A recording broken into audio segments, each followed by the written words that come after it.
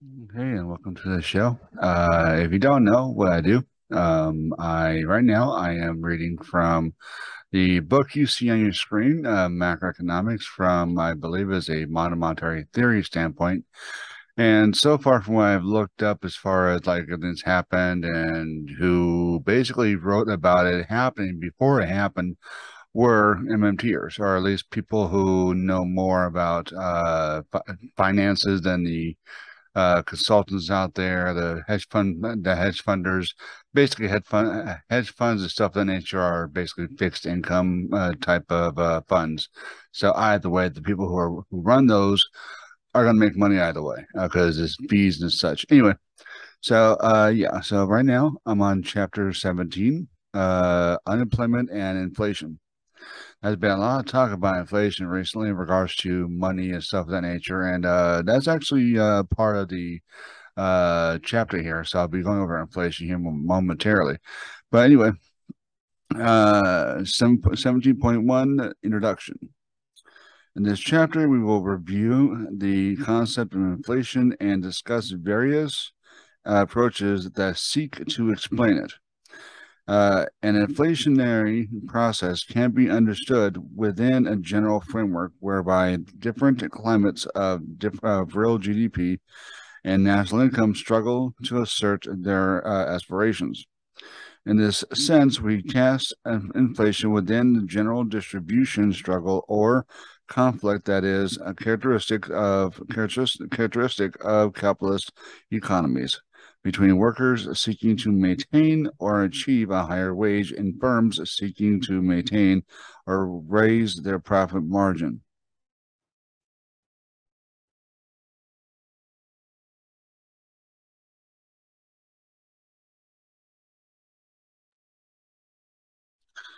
We will di- differentiate, di- and differentiate. There we go between one cost push and demand pull as initiating uh, initiating causes of inflationary pressure uh, process. Excuse me.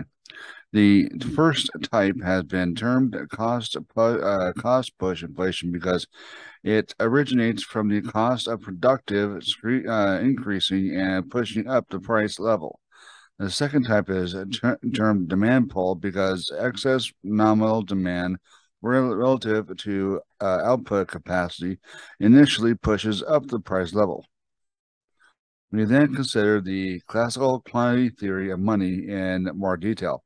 This uh, model asserts that there is a direct relationship between money supply growth and inflation, such that inflationary process is always due to the central bank allowing the, this growth rate to be excessive. The quantity theory is a central element of the quantity, yeah, quant, quantity theory is a central element of uh, monetarism, which we discuss later in this chapter. We show that the basis of the theory is accounting identity. However, the theory fails in its attempt to demonstrate causality. In chapter 18, uh, we will use the ideas uh, presented here to consider the major theoretical and policy debates within macroeconomics with respect to inflation. 17.2. What is inflation? There are mis misconceptions as to what price inflation actually is. An increase in prices is necessary is necessary but not sufficient uh, uh yeah wait sufficient uh, condition for an inflationary process to unfold Thus, a negotiated pay increase for workers or firms increases their price to try to increase profit uh, or a rise in local pr uh, prices of imported goods following uh, depreciation of the exchange rate may or may not uh, initiate an inflationary process. Uh, it looks like the meaning of it. Uh, inflation is the continuous rise in the price level. So the price level has to be uh, to be rising for a number of time periods. Uh, one-off price rise is not in the inflationary episode. If the price level rises by 10% every month, for example, then we would be then we would be observing an uh, inflationary episode. In this case, the inflationary inflationary rate would be considered stable with the price level rising rising at a uh, con constant ri rate per period. If the price level was rising by 10% in each month, then 11% in each month, two, then 12, then 12% in months three, and so on. Then we would be observing an accelerated inflation rate. Extreme cases of accelerating uh, inflation are referred to as hyperinflation. There have been three, oh no, sorry, there have been few instances of this problem in, in record, recorded history, but the uh, Weimar Republic in 1920s, Germany, and Zimbabwe at the beginning of the 21st century are notable examples. They were marked by dramatic contraction of the supply potential of the respective economies prior to the hyperinflation. This will be in, uh, in chapter 21, uh, or more of this, anyways. Um, alternatively, if the price level was rising by 10% in month in month one, 9% in month two, and so on, then the rate of inflation is failing or decelerating. If the price level starts to fall, then the growth of the price level is negative, and this would be a deflationary episode.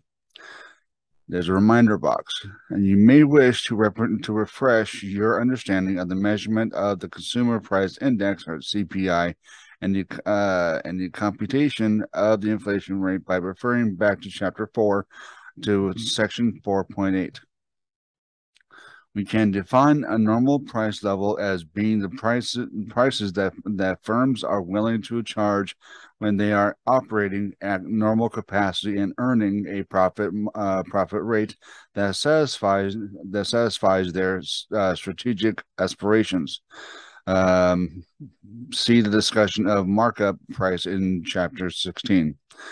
However, the economic cycle fluctuates around these normal rates of capacity utilization, and firm and firms not only adjust to the flux and uncertainty of aggregate demand for adjusted output, but in some in some cases will vary prices. This is particularly the case during a recession. When there are very depressed levels of activity, firms might offer discounts in order to increase sales, enhance capacity utilization.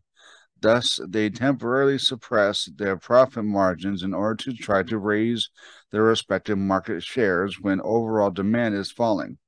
As demand conditions become more favorable, firms start withdrawing the discounts and prices return to those levels that offer the desired rate of return at normal rates at capacity utilization. We do not consider these cyclical adjustments in prices to uh, to constitute inflation. 17.3, this section uh, that's numbered that. Uh, inflation as a conflictual process. Conflict theory uh, situates the problem of inflation as being intrinsic to the power re uh, relations between workers and capital, or class conflict, which are mediated by government within a capitalist system. It brings together social, political, and economic uh, considerations and generalized view of inflation cycle.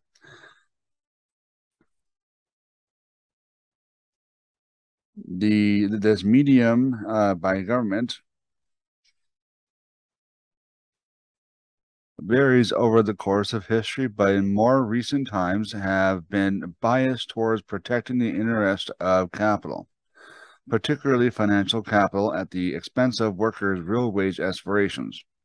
Conflict theory is most uh, most closely identified with inflationary processes in, in initiated by uh, cost push. However, it is important to recognize that an inflationary process, whether initiated by the forces of cost push or demand pull, by definition requires two to tango so that an increase in prices is ongoing. Otherwise, the change in the level of wages or prices is a one off event. The, nat- the nature of the power relations between workers and capital is integral to understanding all inflationary processes. In product markets, firms have pri uh, price setting power and set prices by applying a markup to cost.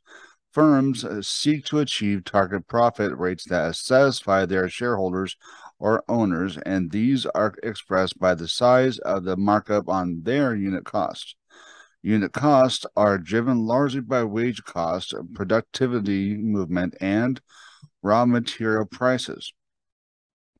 Shifts in any of these determinants can generate cost increases, which price setting firms may pass on by raising prices.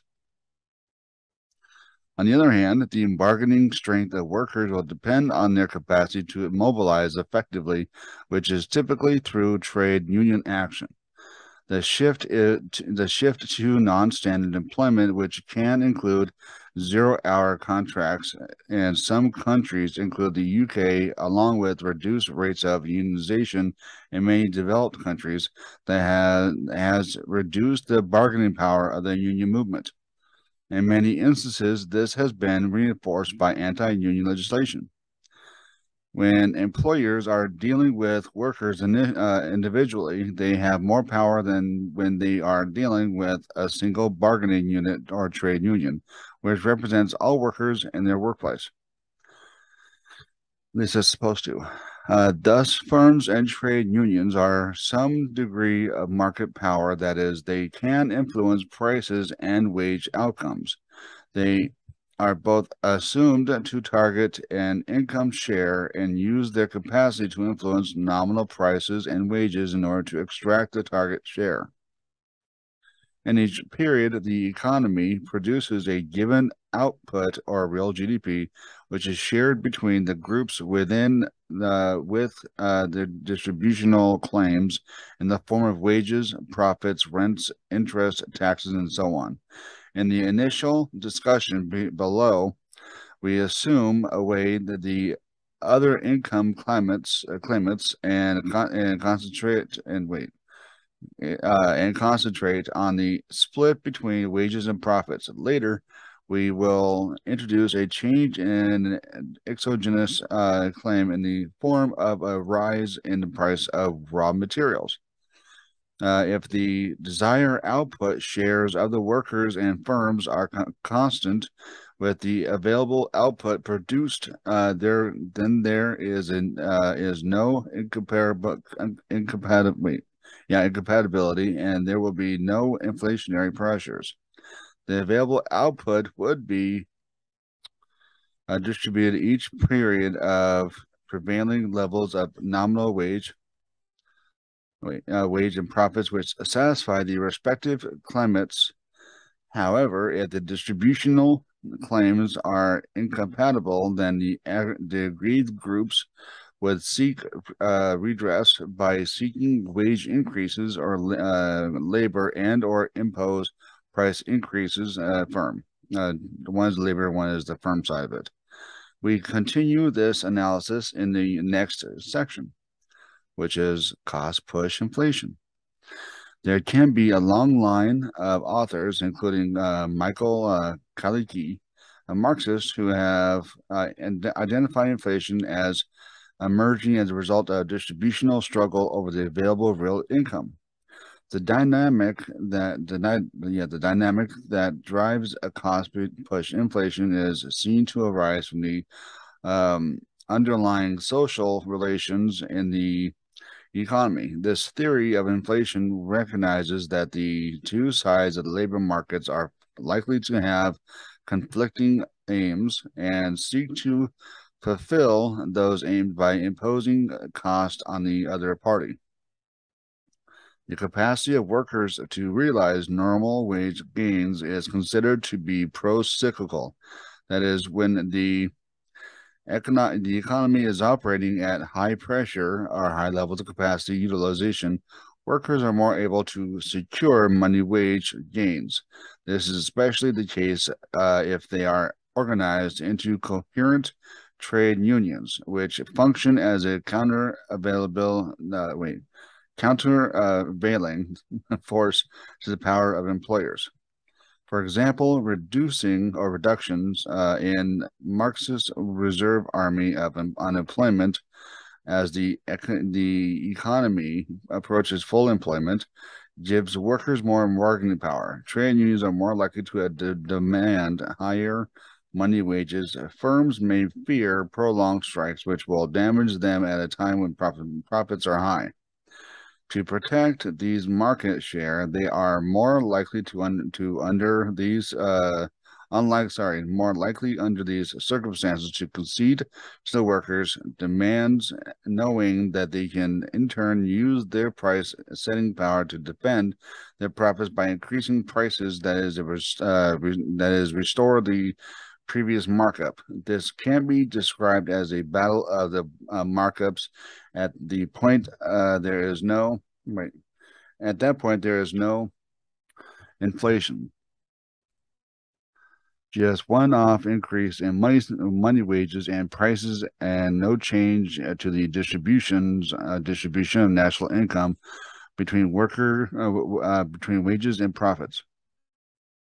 An inflationary process is uh, instigated and perpetuated if the sum of the distributional uh, claims expressed in nominal term man, uh, terms man, money wage demands and markups remain greater than the available output measure at uh, current prices and neither bargaining party neither bargaining party is prepared to concede to the other by ceasing to pursue higher nominal income. And with that said, I will be right back.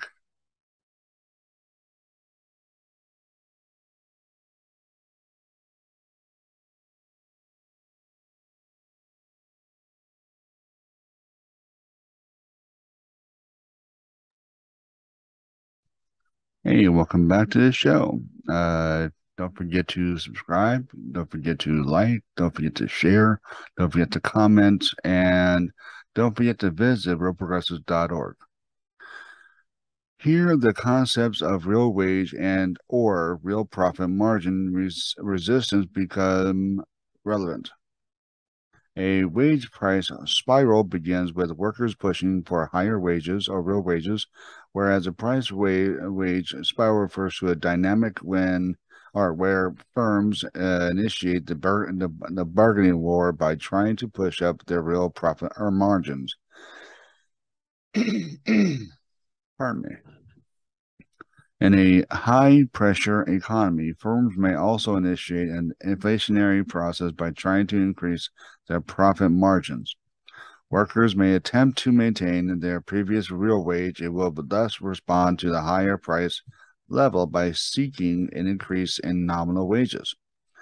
If their bargaining power is strong, which from the firm's perspective is usually measured in terms of how much damage the workers can inflict on output and hence profits uh, via in, uh, Hertz, pro- yeah, no, hence profits in, in the industrial action, when they are likely to su- be successful, if not the if not, they may have to accept the real wage cut imposed on them by the higher prices, which implies that their nominal wages have a reduced capacity to purchasing goods and services.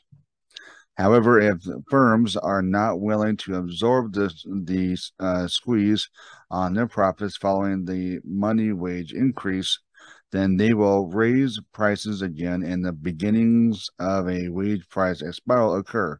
If this process continues, then the ca- uh, cost push inflation is the result. The wage price sp- uh, spiral could develop into a wage wage price uh, spiral if yeah if one section of the workforce seeks to restore relativities uh, relativities after another group of workers succeeds in their normal wage demands. The role of government is also implicated. While in while it is the distributional conflict which initiates the inflationary spiral, government policy has to be compliant for the non uh, for the nascent inflation to persist. Business firms will typically access access credit, for example, overdrafts to finance the working uh, capital needs in advance of re- realization of revenue via sales. And inflationary in the inflationary spiral, as workers seek higher nominal wages, uh, wage, yeah, wages firms uh, will judge whether the cost of industrial action in the form of lost outcome and, uh, sorry, output and sales are higher than the cost of accessing credit to fund the higher wage wages bill. Typically, the latter option will be cheaper. If credit conditions become tighter and thus loans become more expensive, then firms will be less able to pay on real wages with the consequence uh, yeah, consequence negative impact on consumption spending. Firms will also be less willing to in invest in new projects given that the cost of funds is higher. As consequence, uh, as a consequence of monetary policy becomes tighter, then there will be some point where the output growth declines and the workers who are in weaker uh, bargaining positions are laid off. The rising unemployment in turn eventually discourages the, the workers from continuing to pursue their demand for wage increases, and in time, the inflationary process will be choked off cost push theory thus hypothesis uh, a trade-off between inflation and unemployment. The alternative policy stance is for the central bank to accumulate, I'm sorry, to accommodate the inflationary struggle by leaving its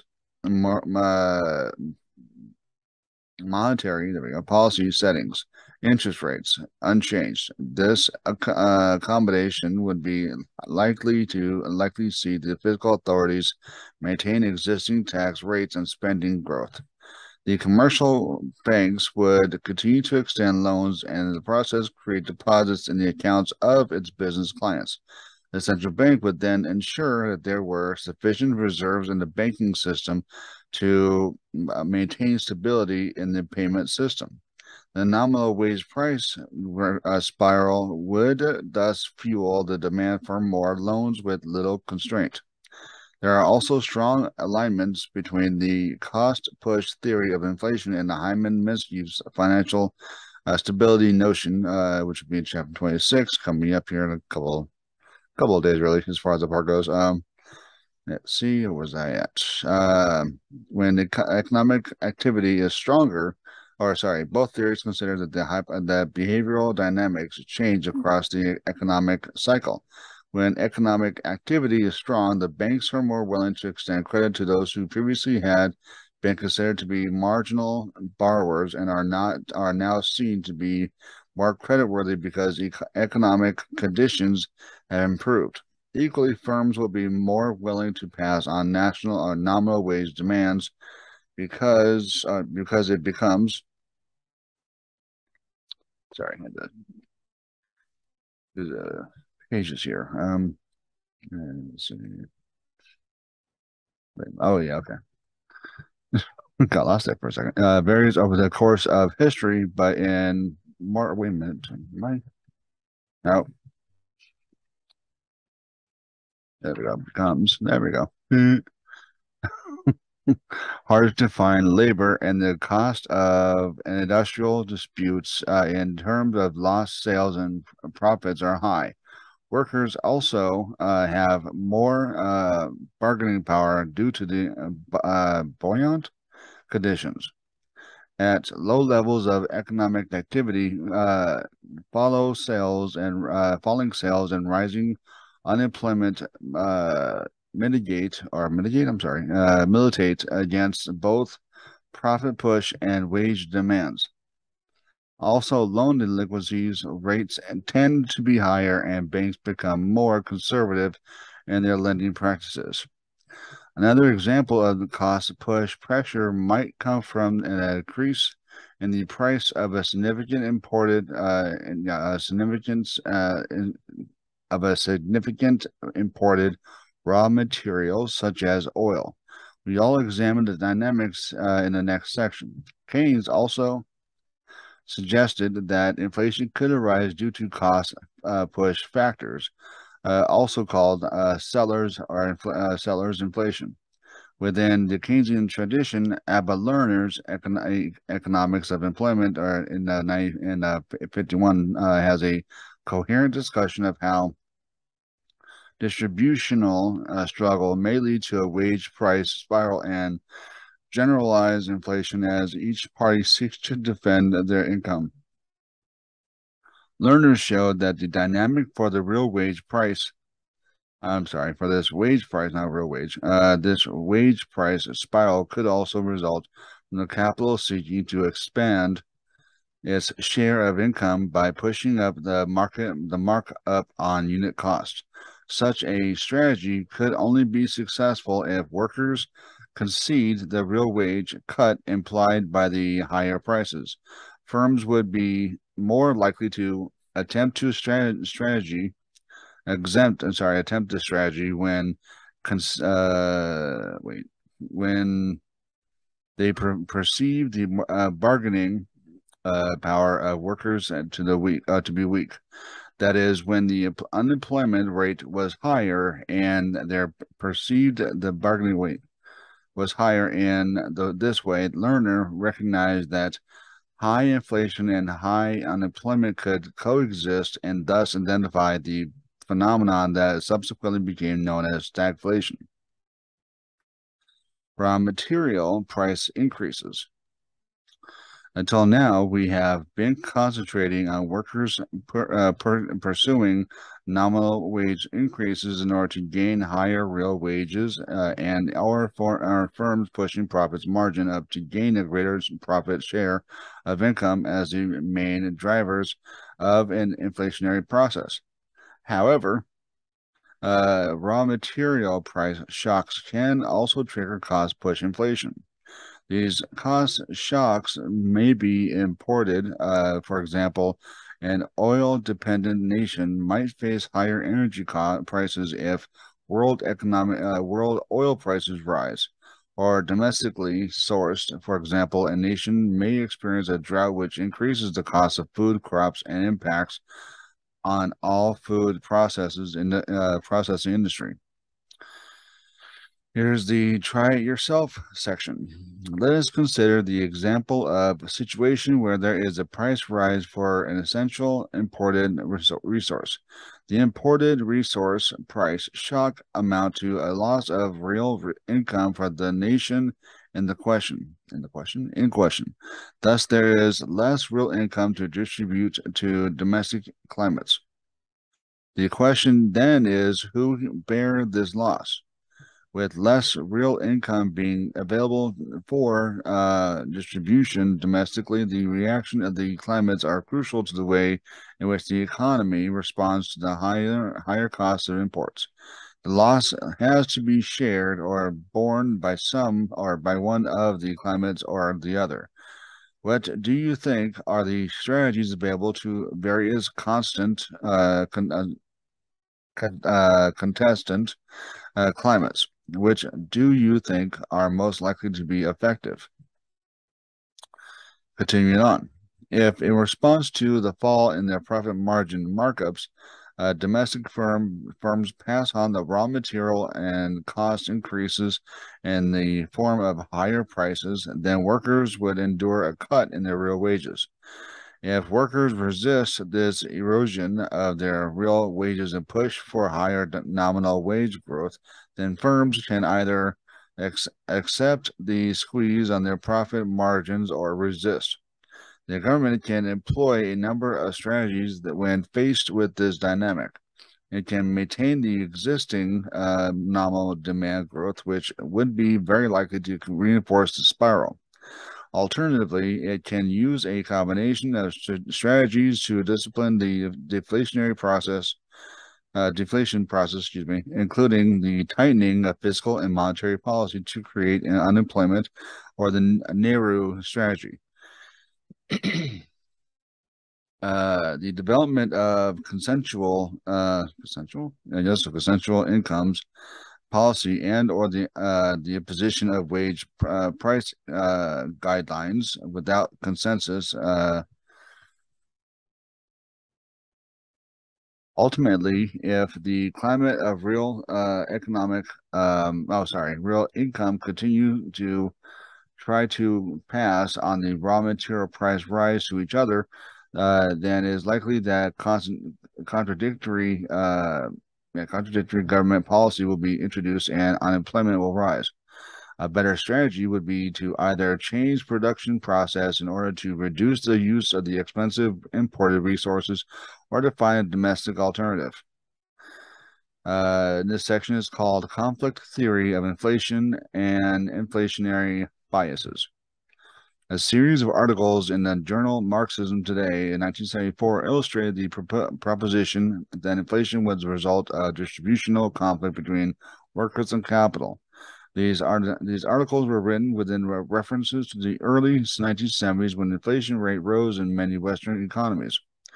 One article by Pat Devine stated that the inflation process was a structural construct construct embedded in the um, uh, intrinsic capital labor conflict. He argued that the increased bargaining power of workers that accompanied the long period of full employment in the post Second World War period and the declining productivity growth in the early 1970s imparted a structural bias towards inflation, which was manifested in the inflation breakout in the mid 1970s that ended the Golden Age. He further claimed that the pro prolonged growth of money wages was unprecedented in the history of capitalism. Uh, uh, this was Devine in 74. Capitalists increased prices to maintain profitability and thus countered the attempt to raise real wages. Large um, oligopolistic firms with price settings uh, setting power engage in non-price comp competition. For example, product quality. These firms, however, were uh, interdependent because they mark uh, the market share. Their market shares were sensitive to their pricing strategies. When a firm was faced with nominal wage demands, its management knew that this is this is that its rival would face similar pressure, and the and that their competitive position would not depend on the absolute price level, while the government continued to ensure that effective demand was sufficient to maintain full employment. On the other hand, a firm could lose market share if it increases increased uh, prices while other firms maintained low prices. As a result, firms had little incentive to resist the wage demands of their workers and strong incentives to protect their pro profits by passing on the demands in the form of higher prices. The structural depiction of inflation as being embedded in the class dynamics of capital and labor, both of which have increased capacity to set prices and defend their real shares of income, impl implicates Keynesian style approach to full employment. There was also international component to the structural theory, and it was argued that the Bretton Woods system, or uh, it was in chapter 9, imported deflationary forces on economies that were experiencing strong domestic demand growth. As the national income rose and imports increased, central banks were oblig obliged to tighten monetary policy to maintain the agreed exchange rate parity, and the constraints on monetary growth acted to choke off in, uh, income incompatible uh, incompatible claims on the available income. With that said, I will be right back. Stay tuned. Again, subscribe, comment, like, share, and hit that bell.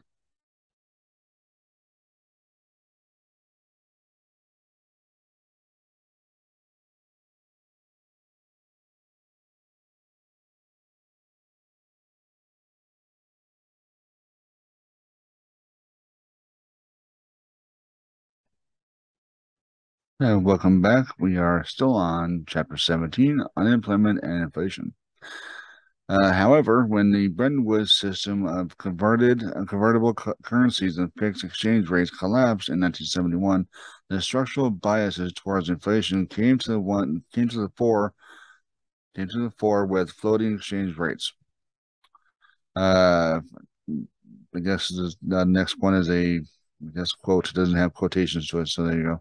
Floating exchange rate rates have been used as an additional weapon available to the state. Given domestic inflation, floating rates provide a degree of flexibility in dealing with the res resultant measure on the external payments position.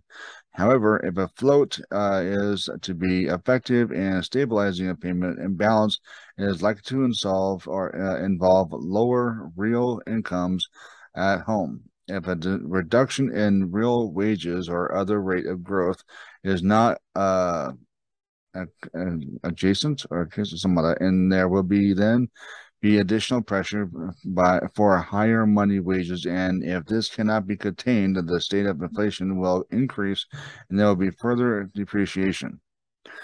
The structuralist view also noted that the mid-1970s crisis, which marked the end of the Keynesian period, was not only marked by rising inflation, but also by ongoing profit squeeze due to declining productivity growth and increased external comp uh, competition for market share.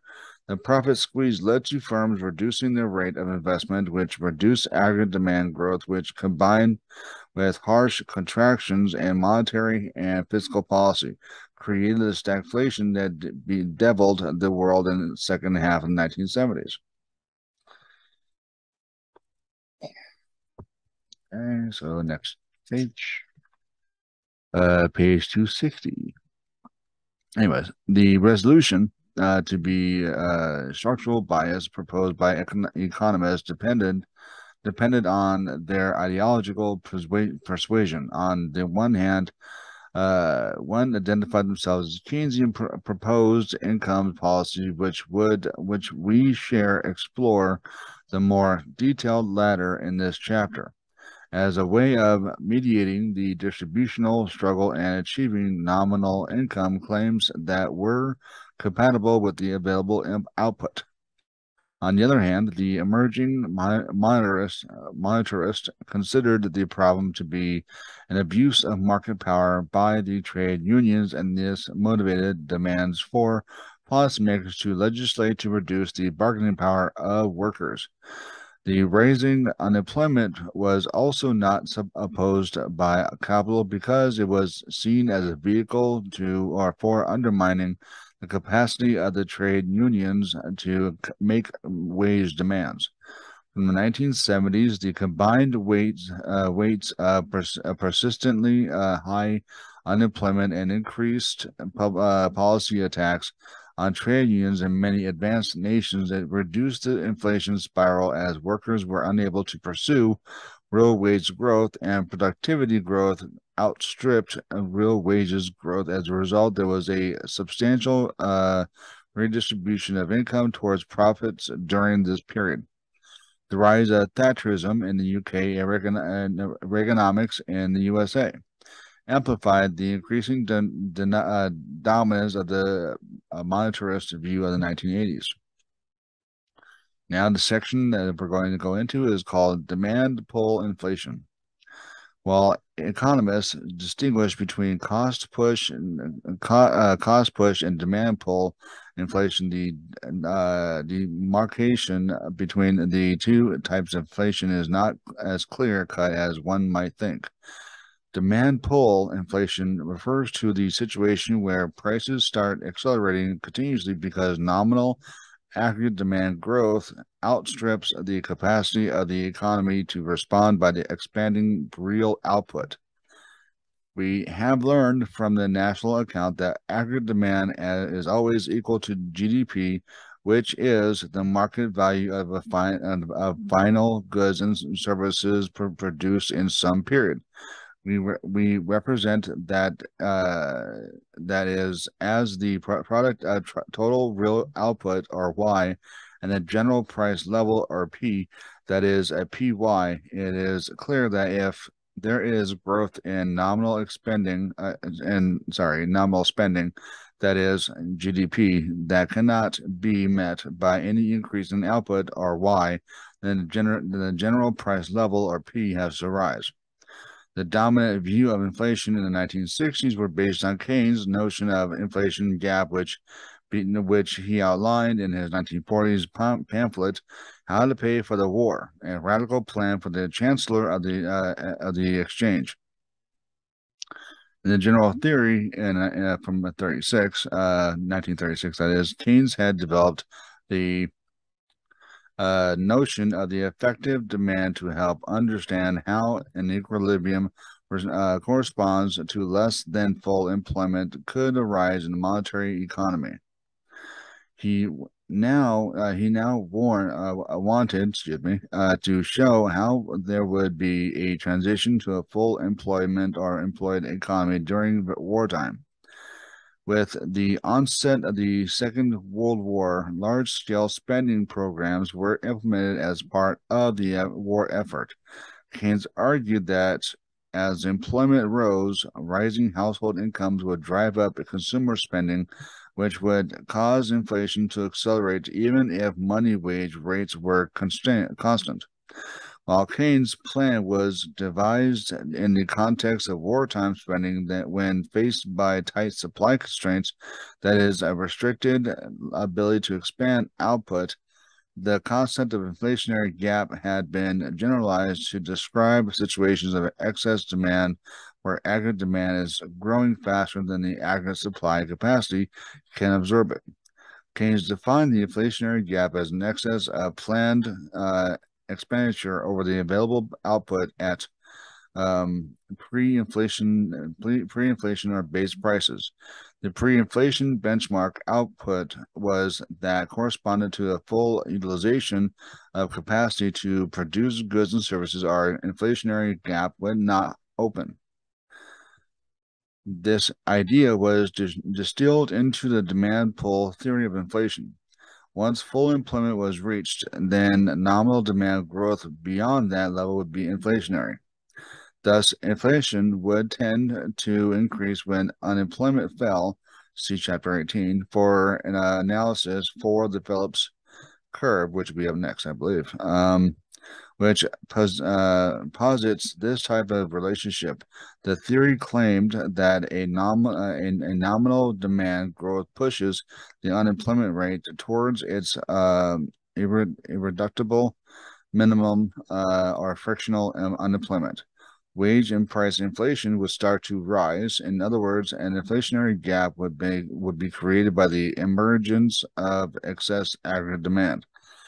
There are several factors present in the real world that attenuate these demand effects on the inflation rate. First, firms incur extensive costs when they change prices, which leads to a, uh, catalog or menu approach whereby firms will forecast their expe expected costs over some future period and set prices according to their desired return. They then signal those prices in their catalogs and advertising to consumers and stand ready to supply whatever is demanded at that price, up to exhaustion of capacity. In other words, they do not frequently alter their mm-hmm. prices to reflect change, changing demand conditions. Only periodically, with firms typically re revise their price catalogs.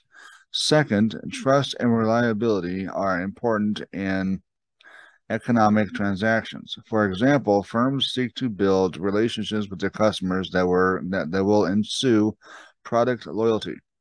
In its context, firms will not wish to vary prices after they have been communicated to consumers. Third, firms also resist cutting prices when the demand falls because they want to avoid so-called adverse uh, selection problems whereby they gain reputation only as a bargaining uh, bargain price supplier. Firms value repeat sales and thus uh, thus want uh, to foster consumer uh, good uh, goodwill. Circumstances change somewhat when the economic approaches uh, full productive capacity. Then the mix between output growth and prices rises be becomes more likely to be biased towards price rise depending on the bottlenecks in, in specific areas of productive activity as uh, uh, at full capacity, GDP can can only grow via inflation that is nominal value increase only. At this point, the inflationary gap is breached. when the U.S. government pr prosecuted the Vietnam uh, prosecuted the Vietnam War effort in the 1960s, the inflation rate began to rise in late 1960s and early 70s. The demand pull pressures of the spending associated with the war effort, uh, combined with, stand, with, with sharp rise in oil prices following the formation of the uh, Organized uh, Petroleum Export uh, Countries uh, cartel, otherwise known as OPEC. OPEC's oil prices quadrupled in 1973 and generated huge cost shocks to oil dependent economies such as the US and Japan. Cost push and demand pull inflation uh, summary. Cost push uh, inflation requires a certain aggregate demand conditions for it to be sustained in this regard. It is hard to uh, differentiate differentiate between an inflationary process which was initiated from supply side pressures from one that had that, one that was initiated by demand wide pressures. For example, an import, uh, imported raw materials shock means that a, nation, a nation's real income that is available for distribution on to domestic climates is lower. This will, this will not be inflationary unless it triggers an ongoing distributional conflict as domestic climates or workers and capital try to pass on the real loss to each other. However, the conflict needs oxygen in the form of ongoing economic activity in sections uh, sectors where the spiral is robust. In that sense, the conditions that will lead to an accelerating inflation, uh, high level high levels of economic activity, will also sustain an inflationary spiral emanating from demand side. 17.4 The quantity theory of money. As we saw in Chapter 11, the classical theory of employment is based on the view that the real variables in the, econo- in the economy, output, productivity, real wages, and employment are determined by the equ- equilibrium outcome in the labor market. by way of summary, the real wage determined exclusively by labor demand and labor supply, which also determine the real level of economic activity at any point in time. Say's law, which follows from the loanable fund doctrine, or see chapter 11 also, is then invoked uh, to assume away any problems in matching aggregate demand with the with the supply of goods and services. Under this doctrine, saving and investment will investment will always be brought into balance by movements in the interest rates, which is construed as being the price of today's consumer consumption relative to and future consumption. Thus, two relative prices, the real wage and the labor market and the real interest rate in the, lo- in the loans market, ensure that full employment occurs with zero involuntary unemployment. This separation between the explanation for the uh, de- the determination of the real economic output and the theory of general price level uh, refers to as the classical uh, gonna sound wrong, but uh, dictonomy. Yeah, hold on. Sorry, guys. Anyways, uh, dictonomy, uh, which is spelled D I C H O T O M L Y, just so you know. Uh, for uh, uh, obvious reasons, the classical, uh, the latter classical uh, econ- ec- economists believe that if the supply of money is double, for example, there there would be no impact on the real performance of the economy. All that would happen, uh, all that would happen is that the price level would, would double.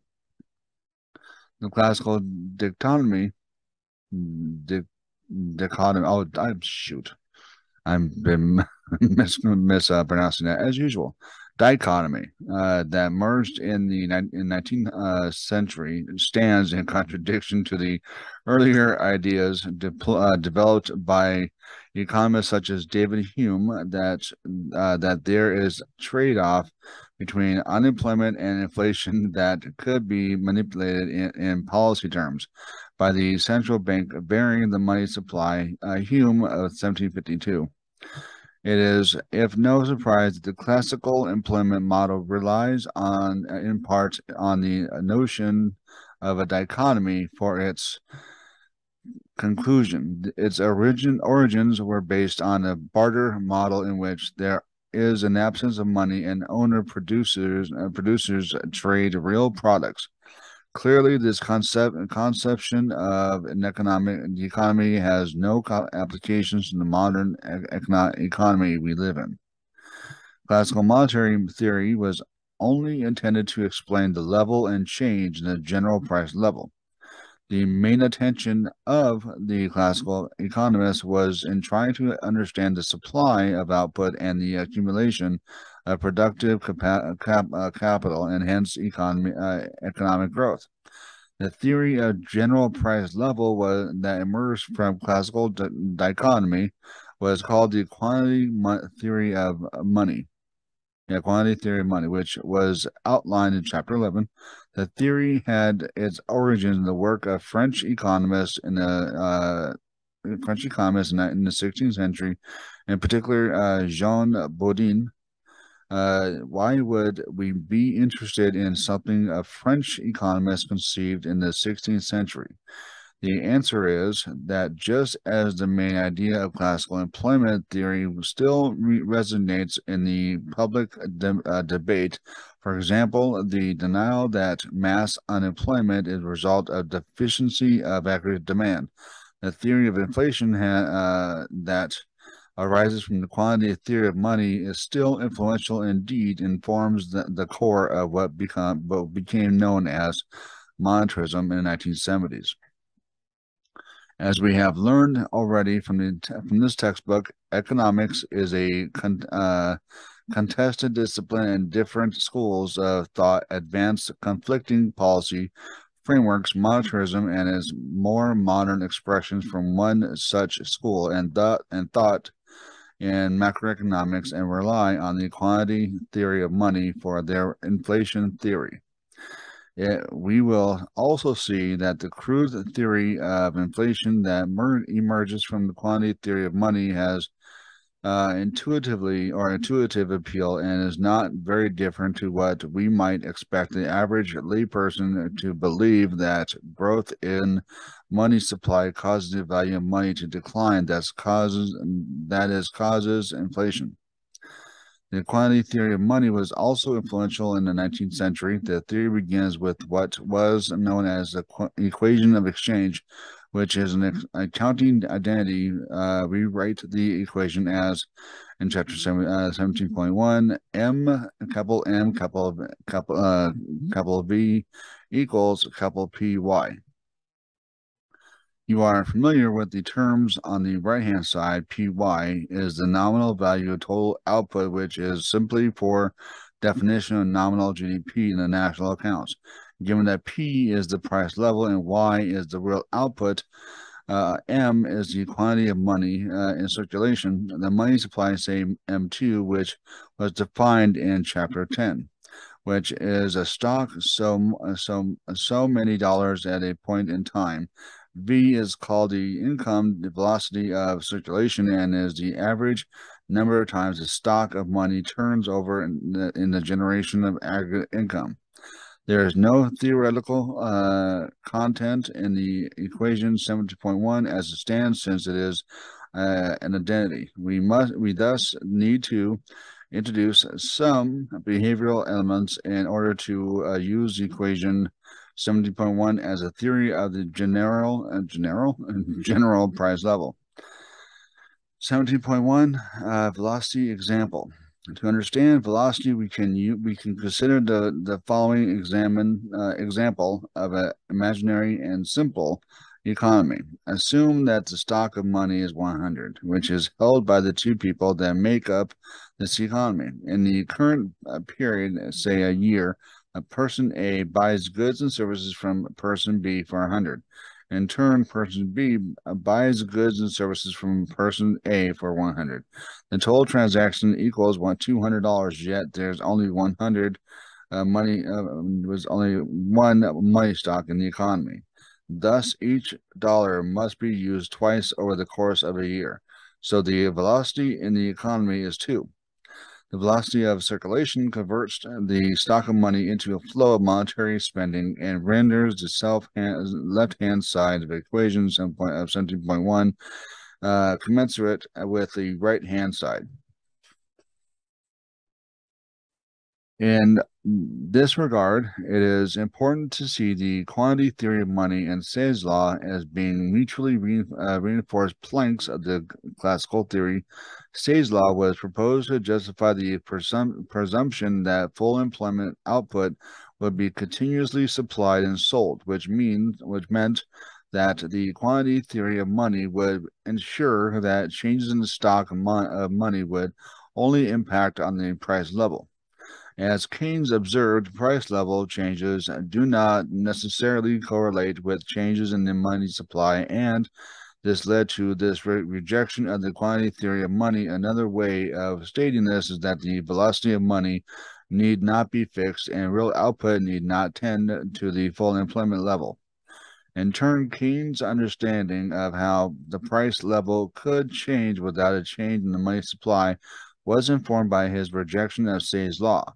He recognized that total employment is determined by effective demand and that uh, capitalist monetary economy could experience a deficient effective demand. However, the classical theories consider that a flexible real wage would when would would ensue that full employment is attained, at least at a nominal state where co competition prevails and there are no artificial real wage uh, rigidities imposed. As a result, they consider Y to be fixed at the full employment output level. Additionally, they, con they considered V to be constant given that it is determined by customers and payment habits. For example, people are paid on a weekly or, or fortnightly basis and shop, say, once a week for their needs. Equation 17.2 depicts the resulting causality that defines the quantity theory of money as an explanation of the general price level. The horizontal bars above the V and the Y indicate that they are assuming to be con constant. It follows the change in M with, uh, will directly and only impact on P. To understand the theory more deeply, it is important to note that the classical economist considered the role of money to be confined to acting as a medium of exchange for to free people from the tyranny and necessity uh, of a double coincidence of wants under the barter system. In other words, money would uh, overcome the problem of a farmer who had carrots to offer uh, but wanted some plumbing done and could not find a plumber desiring any carrots, for example. Money is thus seen as the means of lubricating the exchange of goods and services. There's no other reason why a person would wish to hold it under the this limited conceptual uh, conception of money. The underlying view is that if individuals found they had more money than in the past, then they would try to spend it. Logically, it follows that they considered a rising stock of money to be associated with the growth in aggregate demand or spending.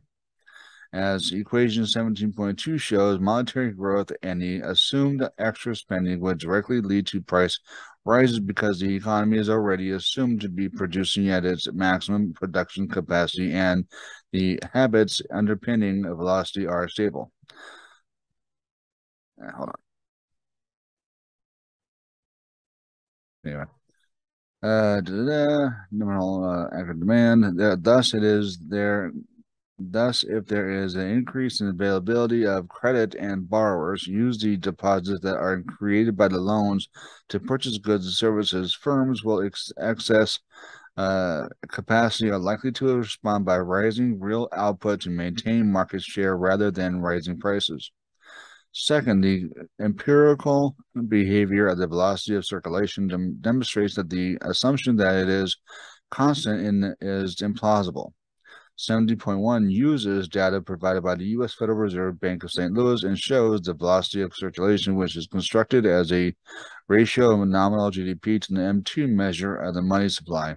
The Federal Reserve of St. Louis measures uh, rate of turnover in the money supply, that is, the number of times $1 is used to purchase final goods and services, including in GDP, this is 2016, the evidence does not support the claims of quantitative uh, theory of money. No simple, proportionate, uh, proportionate relationship exists between rise in the money supply and rise in general price level. 17.5 uh, Income policies. Government pol- uh, faces a wage price spiral have from time to time considered the use of so called income policies uh, if they were reluctant to introduce a sharp contraction in the economy, which might otherwise discipline the combatants in the distributional struggle. Income policies in uh, in general are measure that are measures that are aimed to control the rate at which wages and prices rise as the economy as the economy moves forward, or sorry, towards, or or is at full employment. Progressive economists have uh, often advocated that use to rein in cost pressure and avoid the need to reduce overall spending, which creates higher involuntary unemployment. Income policies have been introduced in various forms at various times in a number of countries in a way uh, as a way of reducing supply side cost pressures and allowing employment to stay at a higher level. For example, in 1962, the U.S. government introduced wage price uh, guides uh, guidepost, which allowed for an average rate of nominal wage increase equal to the average annual rate of productivity growth in the overall economy. This means that per unit labor cost of production remains constant. Uh, other nom uh, nominal incomes, including profits, were also uh, to be tried to tied to this rule.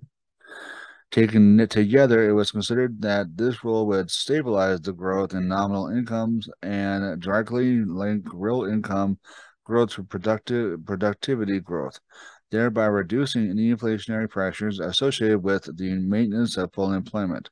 Its complicated applications, excuse me, would thus distribute uh, distribute uh, productivity gains across all income earners and thus reduce the distributional conflict, which might otherwise instigate a wage price spiral However, a problem with the rule is that workers in above average productivity growth sectors are un uncompensated and workers in below average sectors are overcompensated. Also, workers would be unable to pursue money wage increases in response to profit pushes by firms. For a time, the, guidance, the guidelines seemed to work, but, at, but as U.S. government expenditure grew as a result of the Vietnam War and the unemployment uh, fell below 4%, wage increases began to exceed average productivity growth in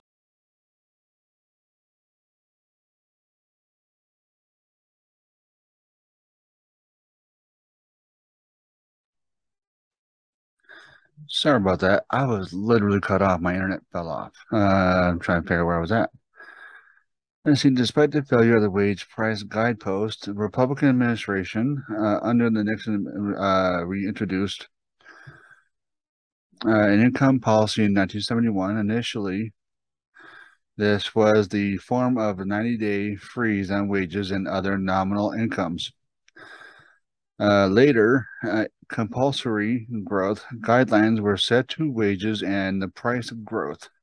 In 73, the government introduced yet another freeze on prices, followed by sector by sector price rises in line with uh, cost increases with a freeze on profit margins.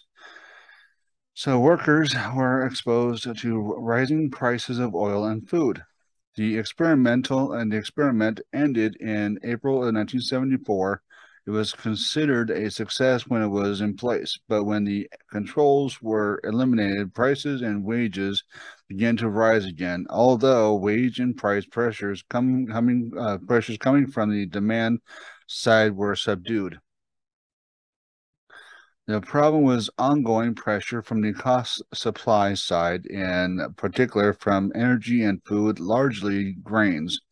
Prices, which led to higher price inflation, workers were unable to secure money wage increases in line with price inflation, which contributed to the divergence between real wage growth and productivity growth.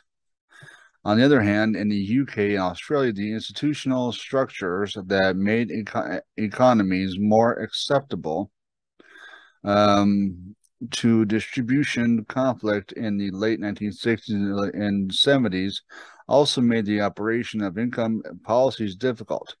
Highly concentrated in industries with large uh, firms exercising significant price setting power were in, uh, interacting with strong trade unions. These firms were a strong position to pass on wage demands in the form of higher prices, and government uh, governments were reluctant or unable to uh, unable constitutionally to mandate strict wage price controls in nominal times.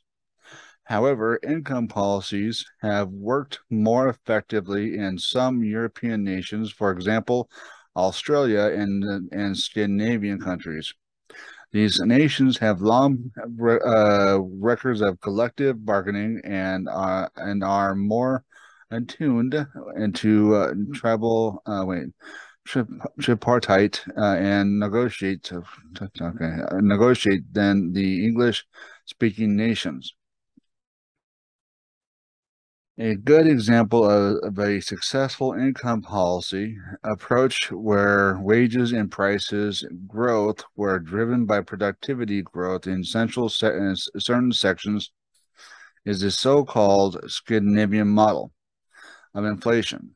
The, this approach to wage setting was developed in Sweden and attempted to marry notions of fairness, the effectiveness of centralized wage bargaining, and in, international competitiveness. And the late 1970s, income policies uh, lost favor in most countries as a result of the rising dominance of monetarism which eschewed, eschewed, excuse me, uh, international or uh, institutional, excuse me, solution to distributional conflict in favor of market-based approaches uh, involving higher employment, unemployment. The monetarist uh, approach in many advanced nations combined the use of persistently higher or high employment, unemployment with a policy designed to reduce the bargaining power of workers. This reduce this, this reduced inflationary pressures because workers were unable to pursue real wage growth, and as a result, productivity growth outstripped real wages, real, real wages, uh, wages uh, growth. This led to substantial, oh uh, yeah, uh, distribution, sub stand, substantial redistribution of income towards profits during the, this period. The rise of Thatcherism in the UK exemplified the increasing dominance of monetarist, uh, monetarist view in the 1980s. In September 19, we will enter September, Jesus, excuse me, it's a chapter keep saying September for some reason. Chapter 19, we will introduce the concept of employment and unemployment buffer stocks in a macroeconomic economy and analysis how they can be manipulated by policy to maintain price stability. This is box 17.2. This Scandinavian model or SM or I mean of inflation. This model, which was originally devoted for fixed exchange rates, uh, economies uh, yeah, dichotomies. Uh, the economy into a competitive sector, uh, or C for uh, C sector, and shelter se uh, sector or S sector. The C sector produces products which are traded on world markets, and its prices follow the generation uh, the, the general movements in world prices. The C sector serves as the leader in wage settlements. The S sector does not trade its good uh, goods ex externally.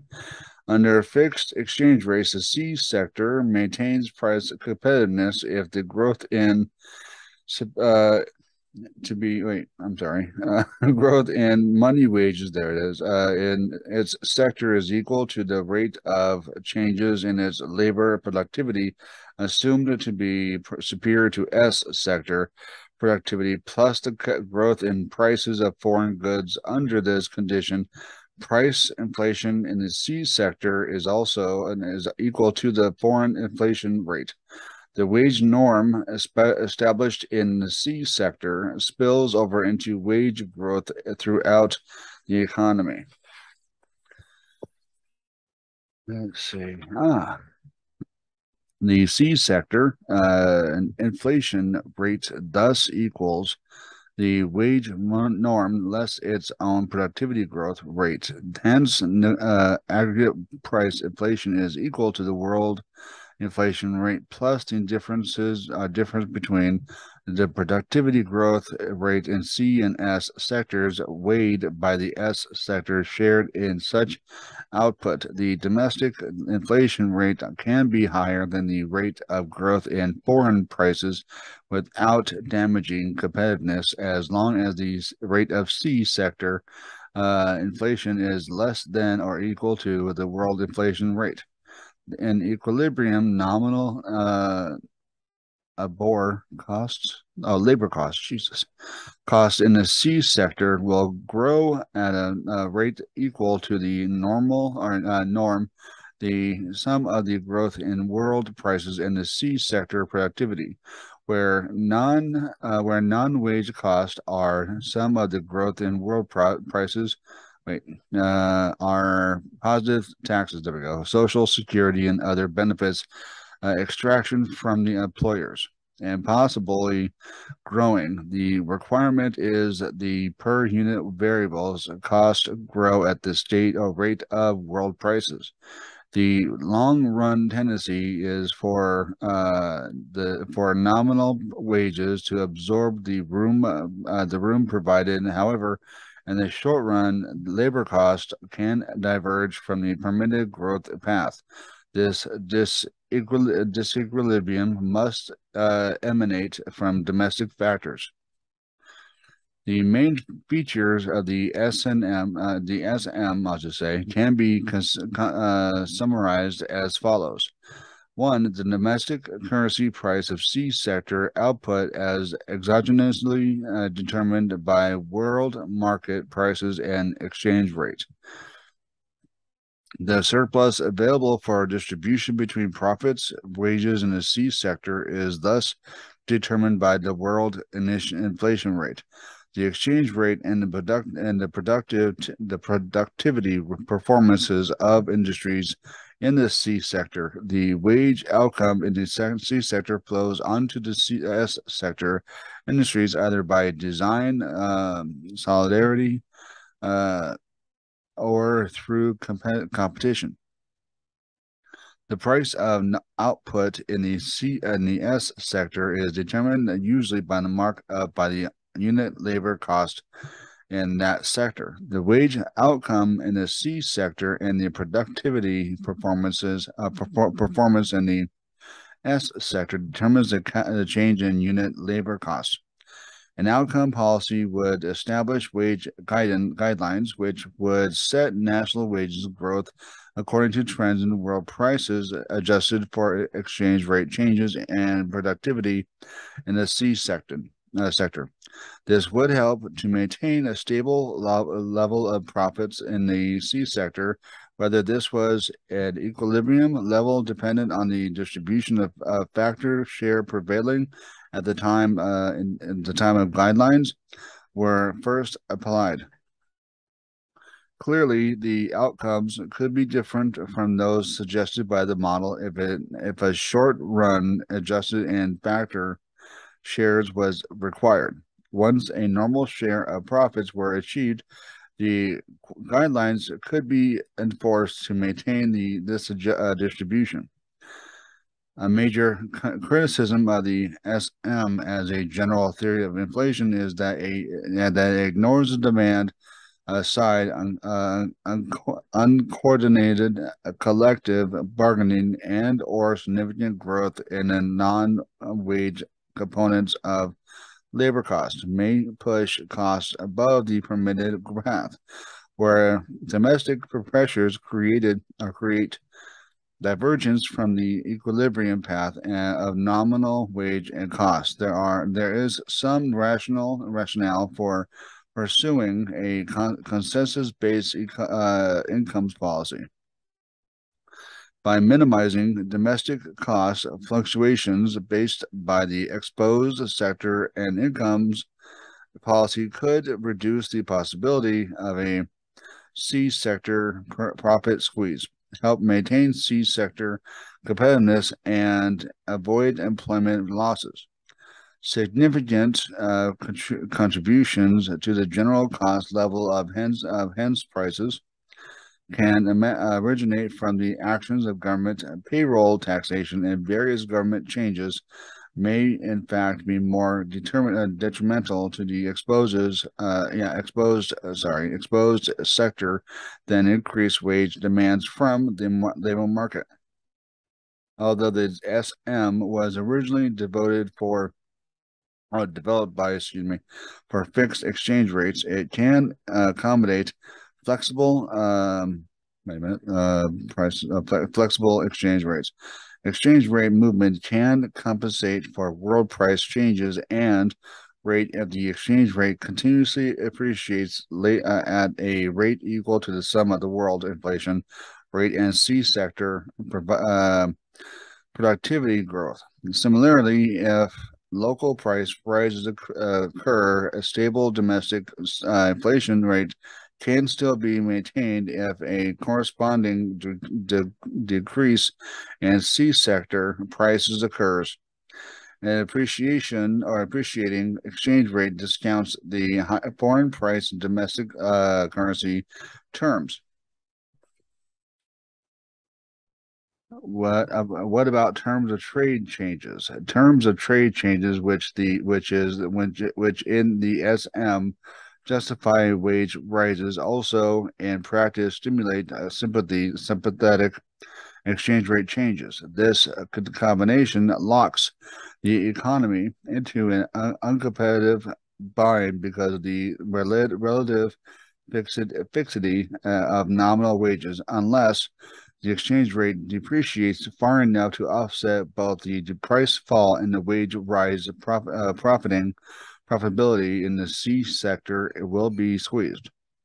Policymakers, particularly in Sweden, uh, considered uh, considered it uh, appropriate to uh, emulate emulate ameliorate whatever this problem through income policy. Such a policy could be designed to prevent a, dis a destabilized, destabilizing wage movement in response to terms of trade improvements. In other words, wage bargaining, which is a constant with the uh, mechanism defined by SM, may be deter- uh, detrimental in, to both the domestic inflation target and the competitive of the C sector and may need to be supplement, supplemented by a formal income policy uh, to restore or retain the, uh, the consistency. Conclusion the chat this chapter is designed to provide an introduction to the concept of inflation to highlight that it arises due to the conflictual nature of the capitalist system and that ongoing inflation requires that the major combatants, firms, and workers continue to pursue increases in their nominal incomes the, the initiating conditions for any inflationary process can be conceptualized in terms of cost push and demand pull. But in practice, it is hard to distinguish between them when an outbreak of higher inflation occurs.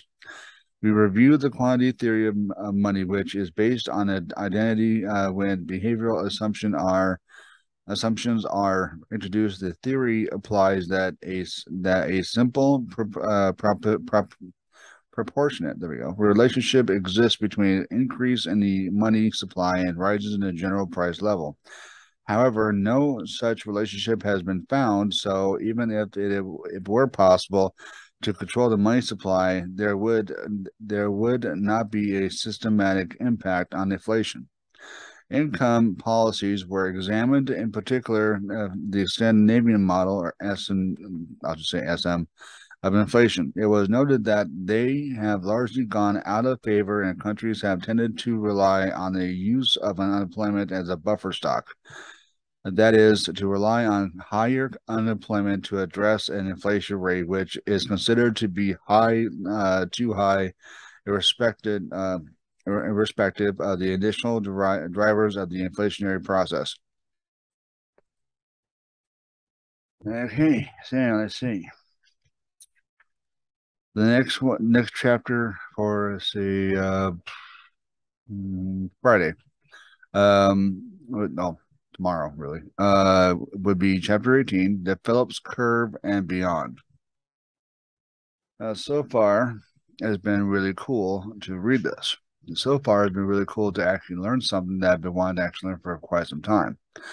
Uh, and I'm glad to be able to be learning it uh, with you guys on this channel and to be learning the right version or at least the right uh, picture, right lens, whatever you want to call it.